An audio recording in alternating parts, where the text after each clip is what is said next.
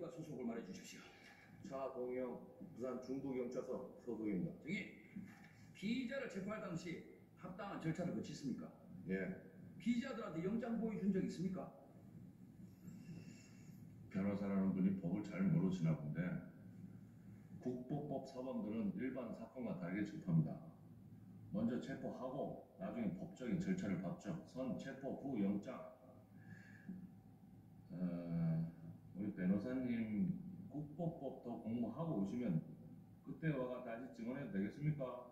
보다 공부 좀 더 하고 온나. 증인, 수사 과정에서 피고 보호자에게 체포 사실을 알렸습니까? 보호자랑 연락이 잘 안 된 경우도 뭐 증인은 피고인을 자그마치 두 달이나 되는 기간 동안 불법으로 구금했지요. 국보법도 공부하고 와서.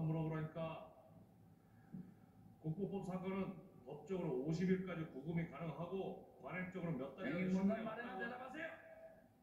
그럼 법정에선 존재만 하시고 지금 증거라고는 고문에서 받아낸 자술서밖에 없지요.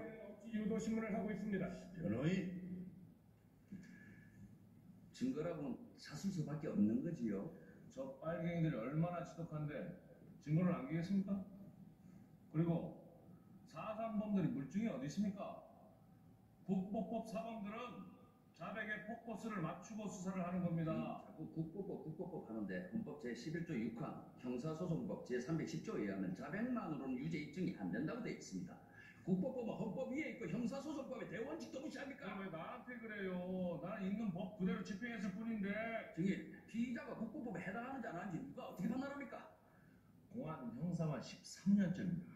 눈깔 돌리는 것만 봐도 국보법 사건인지 아닌지 알지 그걸 모릅니까? 아 그래요. 그런 말입니다. 무하마드 알리하고 조지 포먼하고 군투 시합하는데 내가 알리 응원해서 이거 국보법 위반입니까 아닙니까? 증인, 증인이 우기는 국보법대로라면 김일성이가 알리 응원했다고 증인이 우기면 나 국보법상 이적행위로 잡혀 들어가요? 지금 변호인은 또 쓸데없는 얘기를 하면서 법을 모독하고 국회 김일성이를 찬양 구모하고 있습니다.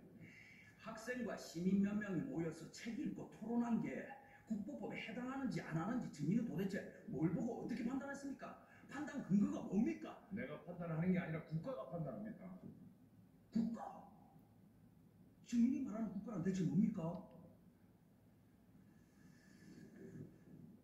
변호사라는 사람이 국가가 뭔지 몰라?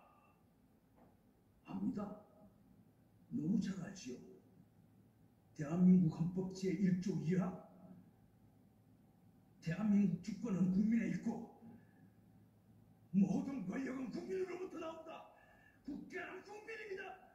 그런데 증인이야말로 그 국가를 아무 법적 근거도 없이 국가 보안 문제라고 탄압하고 짓밟았다.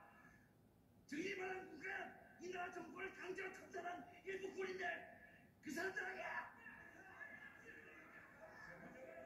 변호인은 증인을 겁박하고 있습니다.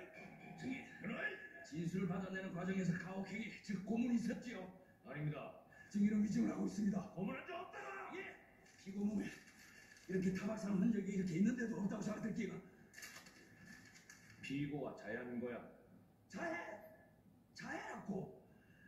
헛소리 그만하고 진실을 얘기해라. 니는 네가 애국자가 나. 참, 니는 애국자가 아니고 죄 없고 선량한 국가를 병들게 하는 벌어지고 군사 정권의 하수인 뿐이야 진실을 얘기해라 그게 진짜 애국이야 이 다짜이 빨리 새끼야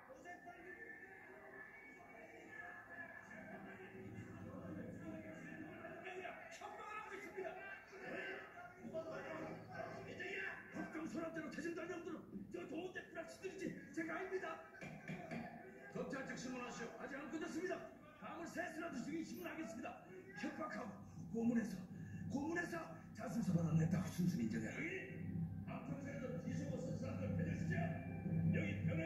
시켜 인정해 측 신문하시오 증인은 구문한 사실이 있습니까?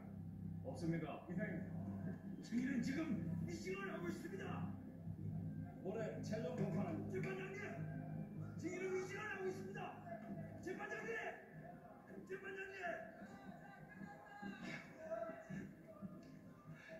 그래요. 제가 구문했습니다. 잘못했어요. 할줄 알았나? 저만 변호인입니까? 박 변호사님 뭘 하셨습니까? 재판 내내 기도라도 하셨어요? 지금 네 혼자만 변호인이죠.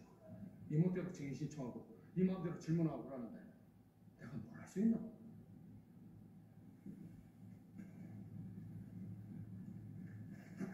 이 재판 네가 다 말해.